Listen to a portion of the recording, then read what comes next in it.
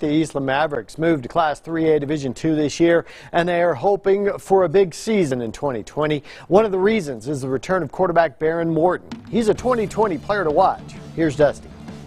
It's his third consecutive season he's been named a BCH Sports Player to Watch, and rightfully so. Behren Morton, the BCH Sports 2018 Underclassman of the Year, has one final semester playing for his father, James Morton, before taking his talents to Lubbock. This is kind of weird to say it's going to be my last time playing for my dad, so he's been awesome throughout these four years, and uh, I mean, I can't I can't believe it's the last year, but um, you know, life moves on. Uh, he'll still be coaching, so hopefully I get to come back when I'm in Lubbock and come watch him. But he's, you know, kind of starting to get into some really good habits and routines. That's kind of a cool thing uh, for me to watch as a dad and a coach. Over the summer, Morton competed in the Elite 11 competition to better prepare for the upcoming season and the eventual transition to Texas Tech. We got some great coaching from NFL coaches all the way to, to high school coaches to college coaches. That recognition that I got at Elite 11 was awesome, but um, no, I'm, I'm, glad to be home and ready to work for the, uh, this upcoming season.